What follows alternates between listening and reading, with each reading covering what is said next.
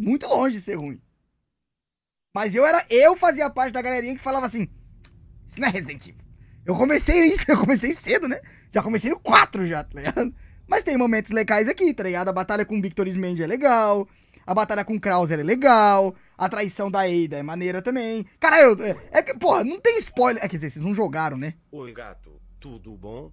E a mulher tá Eu acho acho que eu contei um puto spoiler agora, mano. bem? E o bebê tá bem? Valeu, Flint! So